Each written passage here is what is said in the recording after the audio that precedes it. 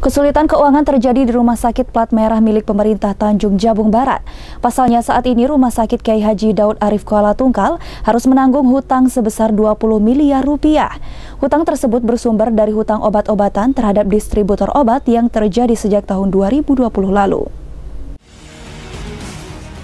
Meski telah lama Rumah Sakit Kiai Haji Daud Arif Kuala Tungkal menyandang status Badan Layanan Umum Daerah atau BLUD, namun siapa sangka manajemen keuangan Rumah Sakit Kiai Haji Daud Arif perlu dilakukan evaluasi mendalam.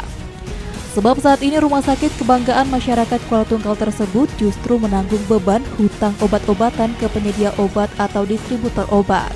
Tak tanggung-tanggung nilai hutang pihak rumah sakit cukup fantastis, yakni mencapai 20 miliar rupiah.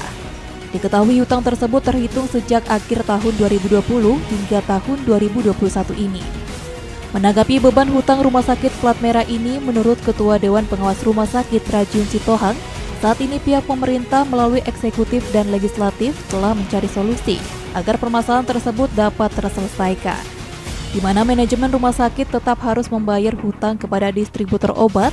Selain itu, solusi yang diberikan yakni pada APBD tahun 2022, operasional rumah sakit Kiai Haji Daud Arif akan dibantu oleh pemerintah kabupaten dengan harapan permasalahan tersebut tidak akan terjadi lagi kemudian hari.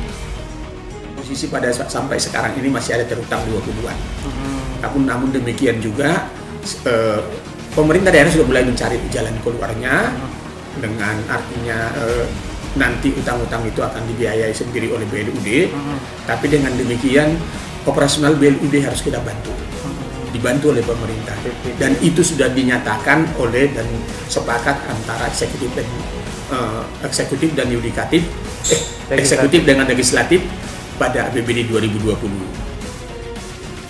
Dengan demikian, Rajun meminta kepada Bupati Tanjung Jabung Barat Anwar Sadat melalui instansi terkait untuk dapat mengaudit dan memeriksa langsung manajemen BLUD rumah sakit tersebut.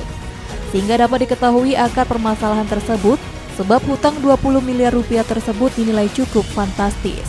Surya Kurniawan, Jack TV, melaporkan.